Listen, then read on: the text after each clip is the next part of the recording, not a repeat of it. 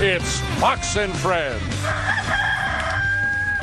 Meanwhile, does Uncle Sam own you? Our next guest says that the government certainly thinks so with the way it takes money out of our pockets to pay government employees. But he's here to tell Uncle Sam, no, you don't.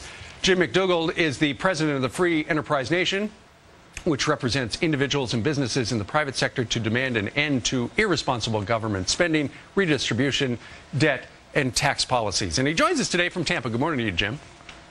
Good morning. That's a very powerful uh, message, and you get the message across. I own you.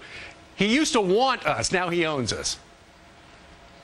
Yes, he now owns us. He now wants to tell us what to do instead of asking us what to do. Uh-huh. And now, one of the things that really bothers uh, the Free Enterprise uh, Institute that you're at is the fact that there is such a disparity between the you know the complete package that state and uh, local and federal employees get versus people who work in the private sector, right? Explain that. Yes, indeed. And by the way, it's a freeenterprisenation.org. Uh, it's not institute. But the uh, big disparity is the average federal government employee earns exactly twice as much as the average private sector employee.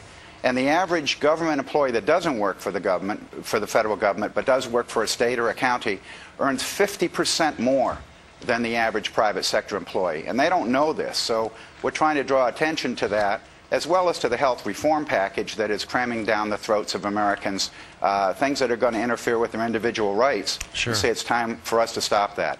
Uh, well, uh, Jim, I live in New Jersey, and of course, now uh, New Jersey famously has got a lot of these very rich pension plans for employees of the state and the local as, as well. But a deal is a deal. And if you wind up uh, negotiating that deal, you would think that uh, they would be entitled to that. And I know what you're concerned about is going forward to have less sweet deals for employees, right? Is that fair? Well, yes, except it's more serious than that. The, the, states currently owe about $3 trillion more than they've told the taxpayers they do because they have unfunded liabilities for their pension plans that they've calculated in a way that aren't legitimate. Um, what they're uh, going to have to do is what we did in the private sector.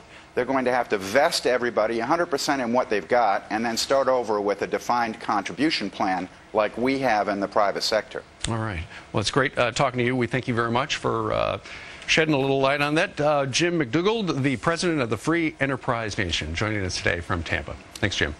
Thank you.